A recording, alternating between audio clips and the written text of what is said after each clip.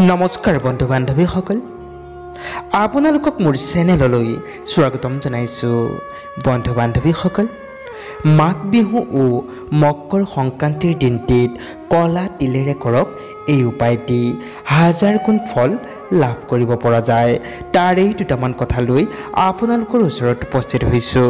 সেয়েহে বন্ধু বান্ধৱীসকল যিসকল লোকে এতিয়াও মোৰ চেনেলটো ছাবস্ক্ৰাইব কৰা নাই তেনেহ'লে সোনকালে ছাবস্ক্ৰাইব কৰি দিয়ে যেন আৰু লগতে থকা বেল বুটানটো টিপি দিব যাতে মোৰ নতুন নতুন ভিডিঅ'সমূহ আপোনালোকে ন'টিফিকেশ্যনৰ দ্বাৰা পাই গৈ থাকে।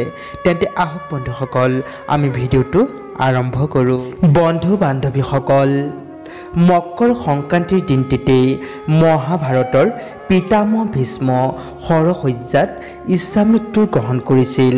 পুৰাণৰ মতে এই দিনটিতেই দেৱতাসকলৰ লগত অসুৰৰ যুদ্ধ শেষ হৈছিল। ভগৱান বিষ্ণুৱে অসুৰসকলক বধ কৰি অসুৰৰ মুণ্ড কাটি মন্দিৰা পৰ্বতত পুতি থৈছিল।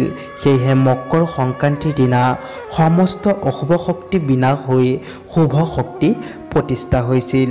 সেই হৈছে মকৰ সংক্ৰান্তিৰ মকৰ সংক্ৰান্তিৰ দিনটিত ভগৱান বিষ্ণুক সন্তুষ্ট কৰিবলৈ কলা তিল দি উপায় কৰক।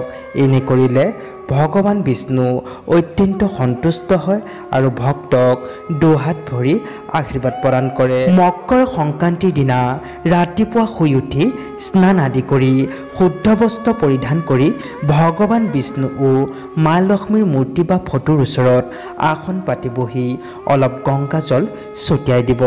তাৰ পাছত এটি শুদ্ধ প্ৰদীপ প্ৰজ্বলিত কৰিব। ইয়াৰ পাছত সেই গংগাজল থকা পাত্ৰটিত কেইটামান কলা তিল আৰু দুটি তুলসী পাত মিলাই দিয়ক। তাৰ পাছত গোটেই ঘৰটোতেই ছটিয়াই দিব। এনে কৰিলে আপোনাৰ ঘৰখনত কোনোদিন অশুভ শক্তিৰ প্ৰৱেশ নঘটিব আৰু ঘৰখনত সুখ শান্তিৰে বিৰাজ কৰিব।